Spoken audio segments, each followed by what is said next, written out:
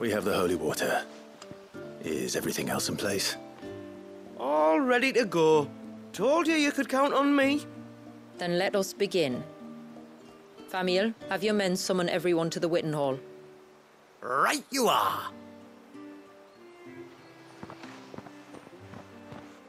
Uh, Shula, wait. I don't know the words.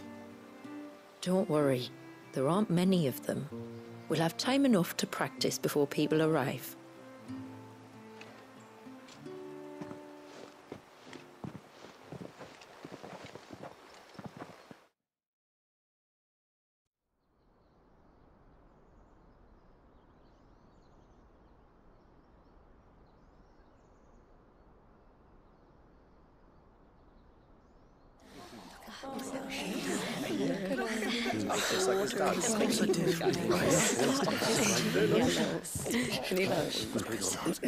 My friends, we are gathered here today to welcome this child into our community by the rite of immersion, as has been our custom since the first reign. As tributary, I would normally perform the rite with the child's parents, but Walius's mother and father returned to the sea long ago. So I and my brother Famiel shall serve as his family, while the one who returned him to us shall bear witness in my stead. Clive, if you would step forward.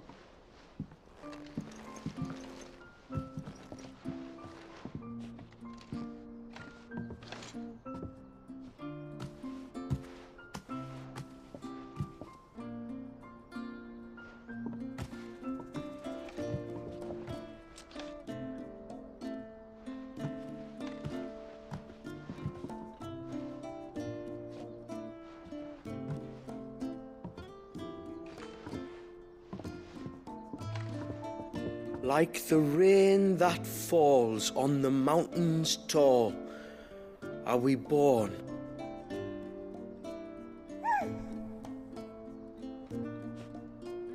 Like the river that flows through the valleys below, do we live.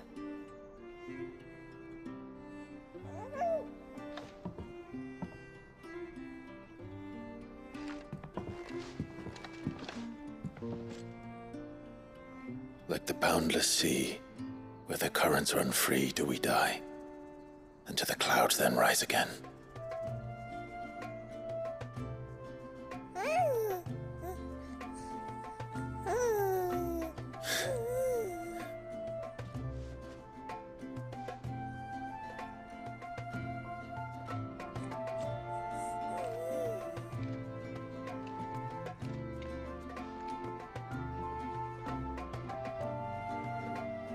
The circle of water is the circle of life. And today, from the heavens falls rain anew. This child, Walius, now joins our stream, and he shall flow with us from the mountains to the sea.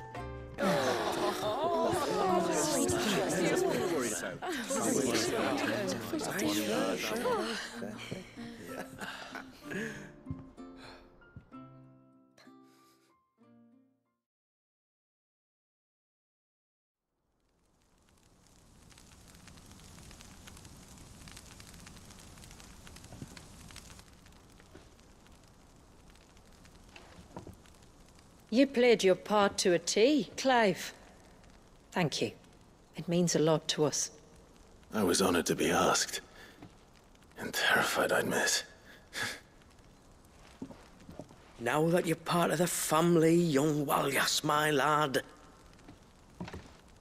Uncle Famiel can teach you the ways of the world. Oh no, he can't. Eh? Don't be so hasty. Your brother's knack for self-preservation might serve him well. Ha! You are never going to let me live that down, are you?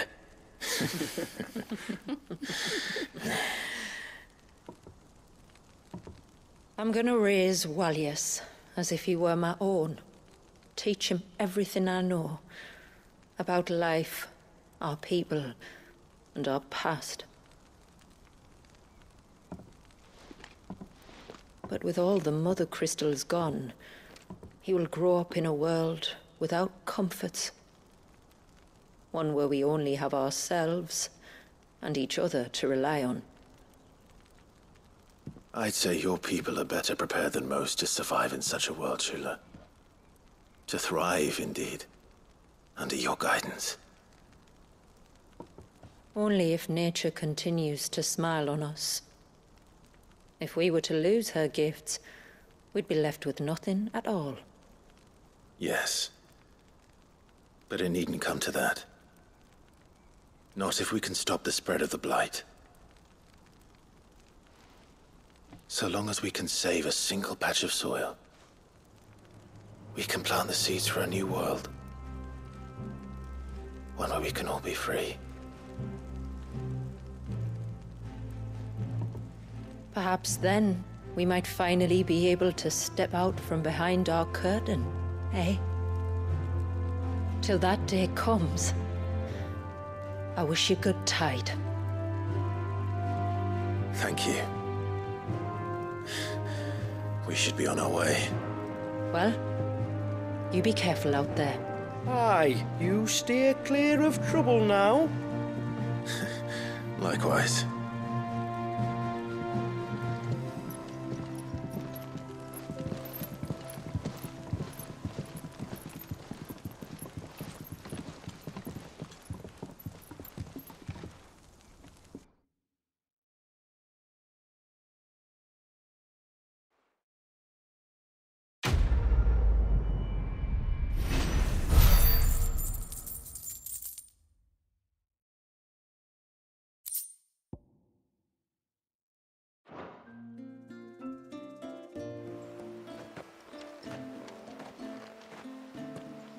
Think, we must be the first outsiders to have witnessed that rite in over a century. Walius has been waiting for it for nearly as long. He seemed pleased to be finally rejoining the family. Now all we have to do is save that family. To change our river's course.